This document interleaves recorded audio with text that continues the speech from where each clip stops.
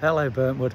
Um, it's been a while, as you can probably see behind us, our new, our new community building which we purchased back earlier this year. And it, it has been a while since there's been kind of any update um, since we built the building. And this has been for numerous reasons. And I think the, the main one was the election and the holding up of our community ownership fund um, funds that we were very successful in getting on revamping our new fabulous building. Um, what I thought I'd do is give a, a quick kind of tour of the building before the work starts. So on, on some good news next week, our contractor um, starts his work and then hopefully with the plan for the new year kicking off with a brand new community building.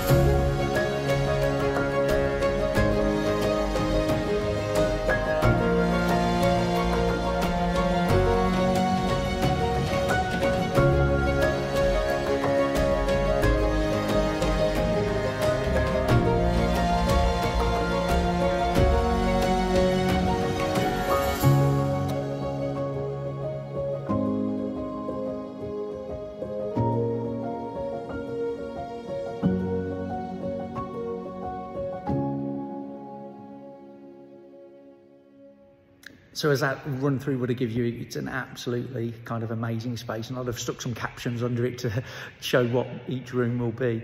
Um, but it's just a, what an asset for, for Burntwood Town Council and the community. Um, and it's whole to give some really good, open, public use space for, for a numerous amounts of things. Um, so just a very quick quick update from me. Um, work starts next week, as I said, and I'll try and keep a few more updates as the work progresses. We, we, we're envisaging three months um, ish, so it should be open in the new year. So please watch this space. Thank you.